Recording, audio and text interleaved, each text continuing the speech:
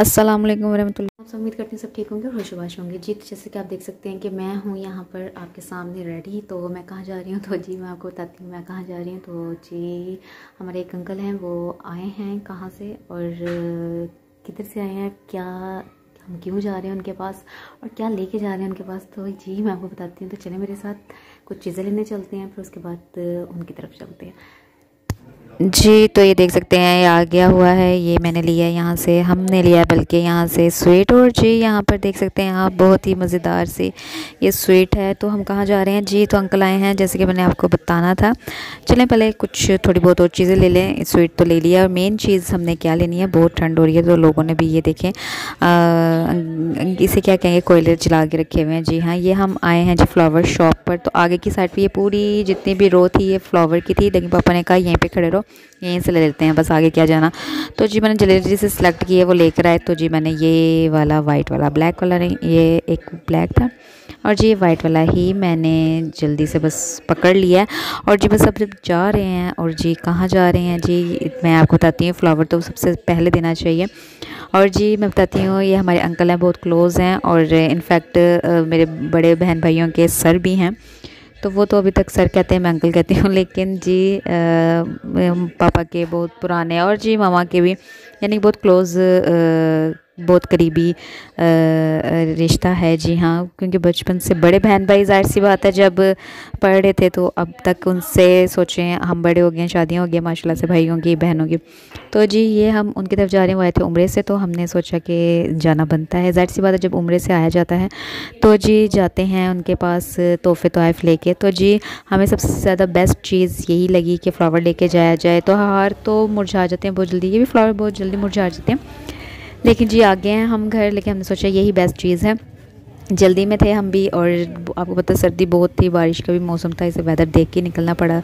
हमें वेदर देखे हमने, बस हम आ गए हैं, ये बेल हमने बजाई है। तो जी, बस अब अंदर चलते हैं, ये देख सकते हैं फ्लावर तो आई लव फ्लावर्स तो जी, बस अगर कोई भी उदास हो तो जी फ्लावर्स देख लें। मुझे लगता है कि उदासी ख़त्म हो जाती है। मुझे तो बस ये लगता है और मेरी मेरी तो यही ओपिनियन है, जी तो हम आ चुके हैं। और जी, अस्सलाम वालेकुम जी सबको। जी तो बस अब अंदर जा रहे हैं हम, ये देख सकते हैं मुझे आप। और जी, बस अंदर एंटर हो रही हूँ मैं। और जी, बाकी सब, ज़ाहिर मैं अपने माँ पापा के साथ होती हूँ। और जी, ये देखिए, सामने मैंने टेबल पर रख दिए हैं ये फ्लावर्स और ये स्वीट और जी, यहाँ पे मैं बैठ गई हूँ। आप यकीन जाने, इतनी ठंड इतनी ठंड इतनी ठंड। ओहो हो। हम अंदर बैठे भी और तब भी बहुत ठंड। आपको पता है कॉलोनी में बहुत ज़्यादा ठंड होती है, जो कॉलोनी एरियाज़ होते हैं, जो थोड़े ओपन साइड पर होते हैं, वो बहुत ठंडे होते हैं, बहुत ज़्यादा ठंडे होते हैं। और ऐसे ही था कुछ सीन और जी गैस की वैसी प्रॉब्लम रहती है। तो जी बस अब बैठ के हम सेट हो रहे हैं। थोड़ी सी मैंने सोचा आपके लिए तो व्लॉग बनाना ही बनाना है। तो जी ये था कि जो उम्र से आए, मैं बता रही थी जो उम्र से आए तो उनको मिलना बहुत खुशी के साथ मिला जाता है। बहुत खुशी होती है कोई आपका अज़ीज़ कोई आपकी फैमिली में कोई जाता है तो उनसे फिर दुआएँ ली जाती हैं। वो तो उसी टाइम आ जाते आ जाते लेकिन सियालकोट के एयरपोर्ट तो बंद था। जी तो फॉग की वजह से यहाँ पर देख सकते हैं ये एक चूज़ा है, इसका नाम भी चूज़ा ही है। आपने वो देखे होंगे, अंडे में से निकलते हैं वो जो बचपन में हम लिया करते थे, अब तक भी बच्चे लेते हैं। छोटे छोटे वो रंग बिरंगे जो चूज़े होते हैं, वो आई थिंक मशीनी होते हैं। तो वही है इन्होंने बड़ी मेहनत से पाल के और इसे बड़ा कर दिया है और इसका नाम अभी भी चूज़ा ही है। लेकिन ये चूज़ी है, चूज़ा है, पता नहीं। जी तो ये ऊपर ही हमारे पास आ गई थी, हमें देखने पर फ्रेंकली थी। और देख सकते हैं, माशाल्लाह से ये खजूरें आई हैं जी काबे की और जी उम्र की खजूरें ज़रा काबा, मक्का, दोनों को ही हम कह सकते हैं, मक्का या काबा। जी तो वहीं की हम खजूरें खा रहे हैं और पानी आप जमज़म पी रहे हैं। माशाल्लाह अल्हम्दुलिल्लाह बहुत बड़ी सादत होती है ये।